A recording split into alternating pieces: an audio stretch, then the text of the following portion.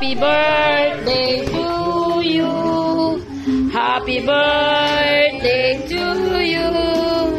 Happy birthday, happy birthday, happy birthday. Oh, please. Ano, dami. Laura.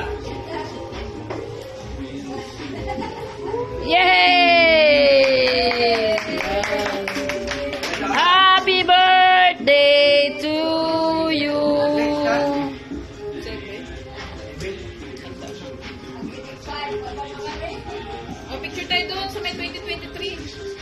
Dapat na